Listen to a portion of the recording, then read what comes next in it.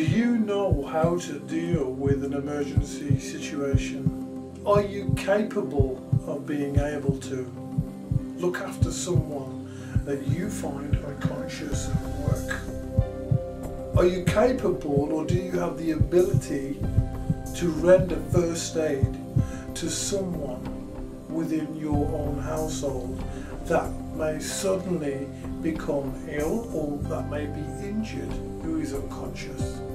Are you prepared for are you prepared for what could befall you within your household? Are you ready for action for when the storm hits your household?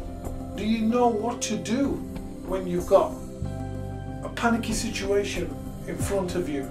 Are you fully prepared? If you're not prepared, then you was prepared to fail. I've given you all these questions and I've asked you them. How sad would it be now if you had a scenario in front of you, a real scenario, and you weren't able to respond because you didn't bother to update yourself or upload yourself with the knowledge that could save lives? How, sad would it be?